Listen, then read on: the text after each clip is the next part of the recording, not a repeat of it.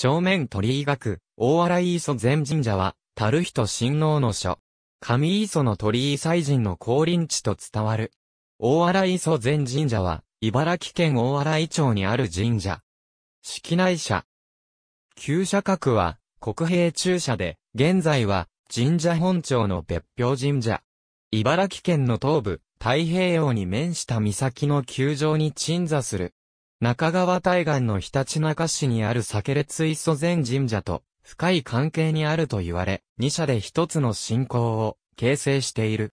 中世には戦乱で荒廃し、近世になって、水戸藩主の徳川光国、綱枝により再興した。本殿、拝殿、神長良門が茨城県大洗町の文化財に指定されている。この他に、波が洗う海岸に建てられた上磯の鳥居も初日の出などで有名である。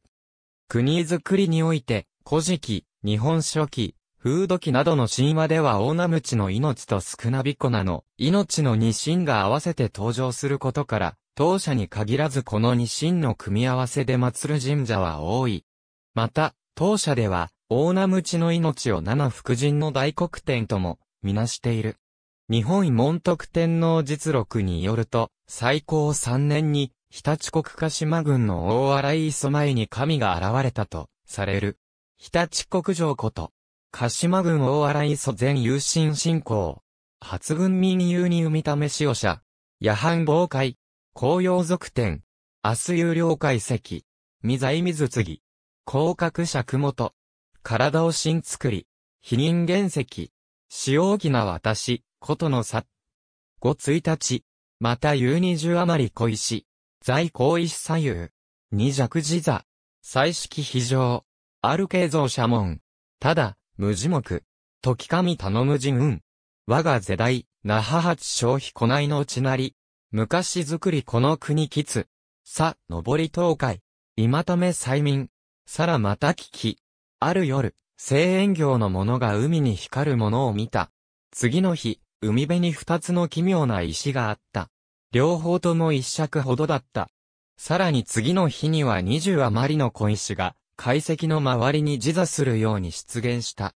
解石は、彩色が晴れで、僧侶の姿をしていた。心霊は人によって、我は大那覇八、消費古内の地である。昔、この国を作り終えて、東の海に去ったが、今、人々を救うために再び帰ってきたと、託戦した。日本門徳天皇実録最高3年12月母術上、そして、大名鞭の命が大洗に、少なびこなの命が、酒列に祀られ、両者の創建となったと伝えられている。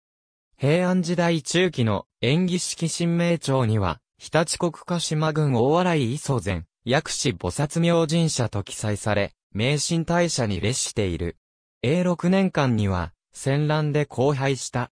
近世に入り、元禄三年に、水戸藩二代藩主、徳川光国により造営がなされ、三代、綱枝の代で、現在の本殿、拝殿、神長良門が完成した。明治18年、近代社格制度において、国兵駐車に列した。現在では、交渉を大洗磯前神社としている。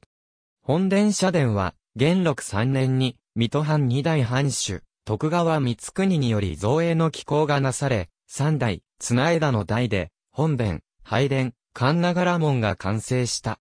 本殿は一見者流れ作りでかやぶき。享保15年に現在地に潜座した。茨城県の文化財に指定されている。拝殿は桁行き5県、播磨2県で、後半一軒付きの入りもや作りで、茨城県の文化財、神長良門は、大洗町の文化財にそれぞれ指定されている。その他、軽順洋館、中の中古碑がある。大洗磯前神社年間祭事一覧。ありがとうございます。